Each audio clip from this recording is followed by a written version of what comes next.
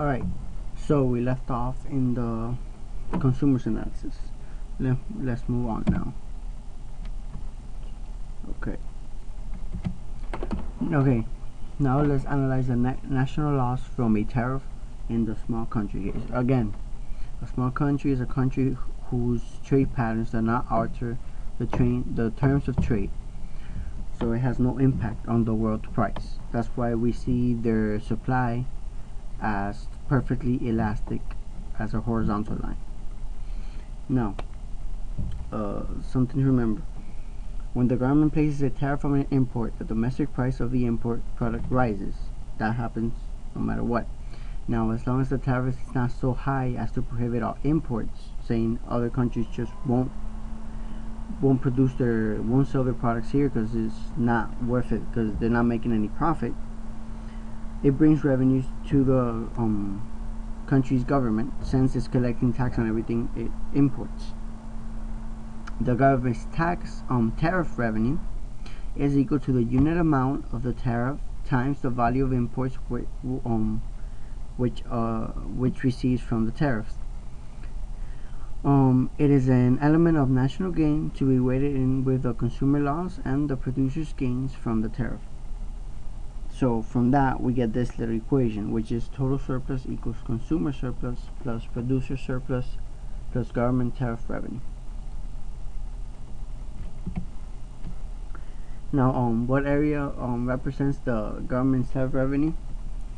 As you can see here we have uh, a case of a small country since the supply curve is horizontal as you can see um, the tariff it, was a $30 tariff going up Pro, um, producers one producers of domestic supply and consumers lost and now the tariff which the government is going to collect is represented by the area by this rectangle C here now, how much of the revenue does the government collect? All you have to do is find the area of C, which is the area of rectangle, which is length times width. So, um, it'll be S1.8 minus 0.4, 0.6 times 330 minus 30 will be 30. 30 times 0.6 will give you the amount. Um, what is the producer effect from overproducing now?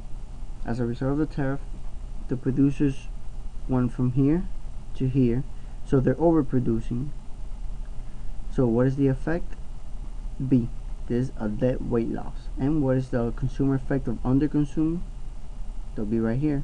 D.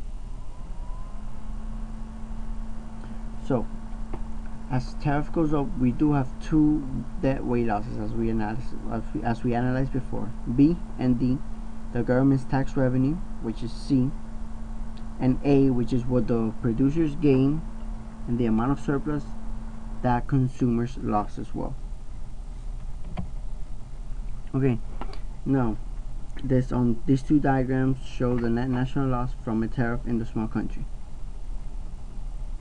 As you can see there's no supply curve right here because it's a small country. It does not alter the trade the, the terms of trade.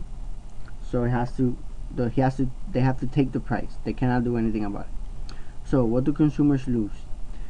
Before when the price was 330 consumers had A B C D F and E of surplus now with the new tariff imposed there's a price line now they only have E and F so what the consumers lose A B C and D all this area which is the result of the government's tariff what do producers gain? Well, producers before only had G, now they have A.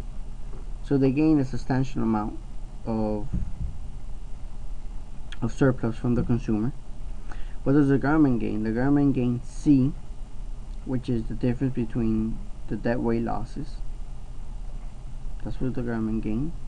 And what is the net national loss or dead weight loss from the tariff will be B plus D, which will equal this. So if you trace this, being this equilibrium no trade, let's say it's 375. So at 375, there's no need for imports. So there's no trade. Now, when the price is 300 consumers demand a thousand oh not a thousand one million quantity of imports now as the tariff is imposed 330 consumers are only demanding 6.6 of a million or 600,000 imports so actually tariff actually restrains the consumers satisfaction or the consumers wanting to to want imports allowed in their countries. Tariff actually dislocates that that feeling. As you can see, the deadweight loss shows that this triangle right here, and C is the offset of the garment surplus. Now with this large country case, we will see how we can actually see where the tariff is imposing because here the tariff is all on the on the consumer. The consumer pays the entire tariff as you can see. The $30 the consumer pays it. Now things will change. Um, the terms of trade effect and optimal tariff. Large country case. We'll get to this right now